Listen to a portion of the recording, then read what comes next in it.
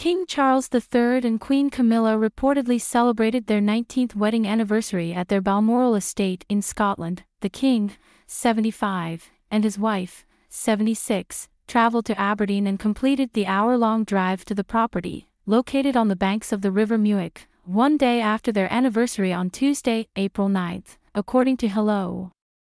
The royal couple made the same trip to Birkhall to mark their honeymoon nearly two decades prior. Charles and Camilla wed in 2005, nearly 10 years after his divorce from Princess Diana was finalized.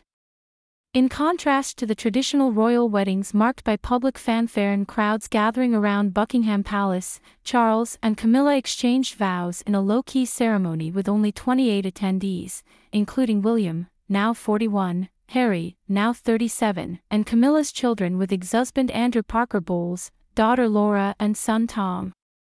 The pair's anniversary getaway was a well-deserved respite from recent challenges within the royal family.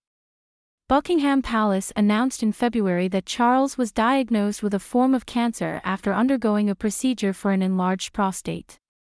At the time, the palace noted in a statement that Charles would be scaling back his public facing duties while receiving treatment. That I would like to express my most heartfelt thanks for the many messages of support and good wishes I have received in recent days, the king said in a statement released by Buckingham Palace later that month. As all those who have been affected by cancer will know, such kind thoughts are the greatest comfort and encouragement. Thank you.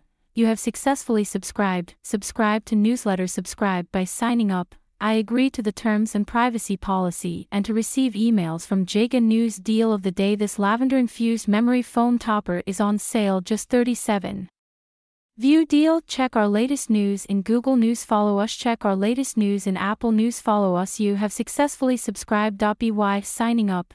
I agree to the terms and privacy policy and to receive emails from Jaga News. Check our latest news in Google News check our latest news in Apple News amid his health battle. Charles has restricted his workload primarily to private audiences at the palace.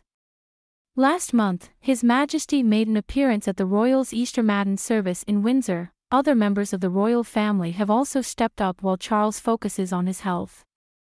Earlier this month, Charles turned to younger brother Prince Edward and his wife, Duchess Sophie, for a changing of the guard ceremony at Buckingham Palace. Edward, 60, has acquired a new title a member of the esteemed Order of the Thistle while taking on increased responsibilities as senior working royals. Along with Charles, Princess Kate Middleton has taken a break from public duties after revealing her own cancer diagnosis in March.